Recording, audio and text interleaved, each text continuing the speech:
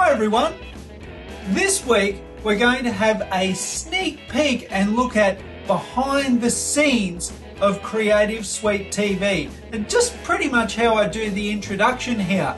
I use some new green screening technology that Adobe have in Premiere Pro CS5 called the Ultra Key. I'm going to show you how I usually put the introduction to my show together right there on the timeline in Premiere Pro. It's super quick, it's super easy, anyone could do it. So if you're just getting into video editing and you want to start learning how to do some green screening, then watch this episode of Creative Suite TV. I'm sure it will shed a lot of light on the subject you'll be truly amazed at what terrible conditions that this show is produced in.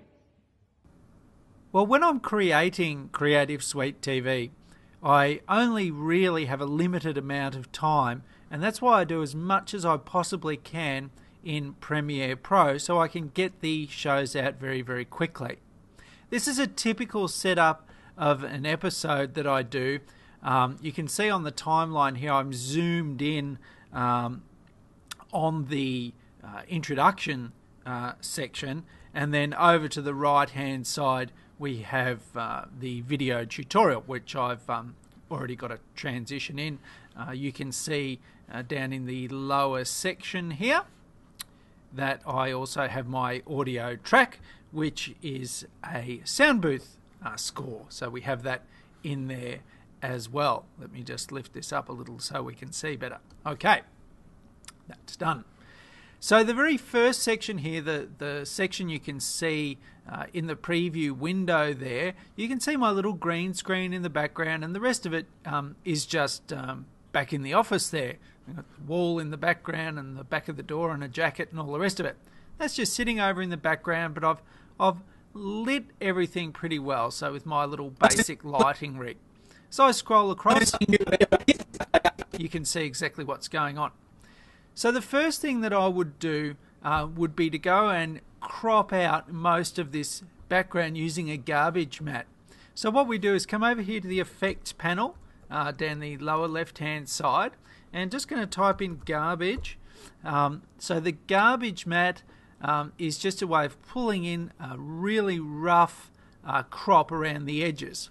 So to apply any of these effects, I'm going to use an 8 point garbage matte, drag and drop it onto the clip on the timeline here, and then the effect, as a matter of fact, any effect that you apply will appear in the effect controls at the top of screen here. So what we then do is go ahead and select it. There we go. Then we have a look at the preview window here, and I'll just expand this out by, by selecting it um, so you can have a look. Let's expand it out. We can we can bring that up like that so you can see it a little bit better. We want to select the 8 point garbage matte though and start to pull in the corner. So you simply just click on them with your cursor and pull them in. And what I'm doing is just aligning this up with the edges of the green because we're going to use the ultra keyer to get rid of the green. We're going to use the garbage matte to just remove those extra bits like that. And one more we'll put that up into that corner there and then more or less there we have it. So we'll, we'll, we'll zoom in again there. Okay so we've pulled those edges in. Just make sure we get rid of that little bit of shadow there looks pretty good and we're starting to reveal the background. Okay, so that bit's done. We can deselect that. Now the next section is to use the Ultra keyer. Okay, so this is a brand new um, green screen keyer straight in Premiere Pro. We don't need to go to After Effects and use Keylights. I'm going to use it here. Um, I'll just type in the word Ultra to make it uh, a little bit easier to find down here in the effects. So Ultra key. Going to drag and drop that also onto the same clip and then that gets listed in the effect controls at the top here. There it is there, Ultra Key, and if we twirl it open, there's a bunch of other settings. So all we need to do is select the uh, key color. That gives you an eyedropper or a turkey baster as we call it. Come over here and then just click on the color you'd like to key. So Typically, I will use a green key. Uh, if I um, if I had a green shirt on, for example, I might use a blue key, uh, which is what the other side of my green screen has on it. It's a two-sided screen. Anyway, whatever. So, grab the turkey baster, go ahead and click on that background, and it more or less gets rid of it. Let's have a let's have a good close look. You can see some edges still there, but it does a pretty good job straight off the bat of removing most of that. And then what I typically do uh, from this point is get into the alt, Ultra key uh, section here, and we'll just zoom in a little so you can see both at the same time. Get into the Ultra key section. You can twirl open the map generation.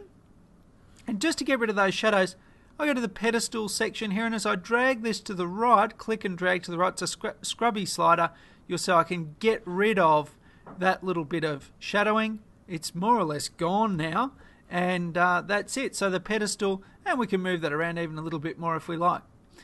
You can um, affect the transparency. Um, you can choke it in a little bit. So if you're getting a little bit of spilling over on the edge, you can do that. You can change the midpoint, you can soften the edge, um, you can desaturate, you can do a whole bunch of stuff, color correction um, to saturate the image a bit more. So, you know, we might like to saturate the colors a little bit more, and why not?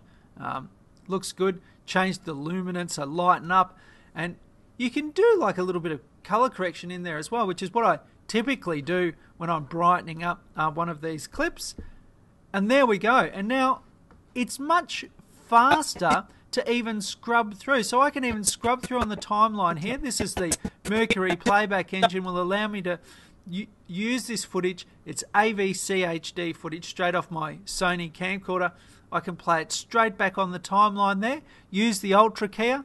It's bloody fantastic and it allows me to create these episodes and these introductions in a really quick time frame and then get them out to everyone to start watching. I think if you want to produce any type of video, you should be using Premiere Pro CS5. It is awesome.